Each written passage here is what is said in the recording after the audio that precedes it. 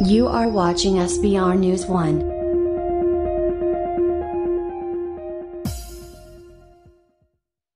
Welcome to SBR news Venkatachalam మండలం కస్మూరు గ్రామంలో lockdown కారణంగా చెన్నారెడ్డి మస్తానమ్మ చెన్నారెడ్డి సుబ్బరామరెడ్డి కుటుంబ సభ్యుల సహకారముతో కస్మూరు గ్రామంలో మస్తాన్వలి బాబా దర్గా ఖాతిం కేఎస్ ఆసిఫ్ గారి ఆధ్వర్యంలో అన్నదాన కార్యక్రమం నిర్వహించారు ఈ కార్యక్రమంలో KS Arif MS Karimulla MS Hanif KS Nawaz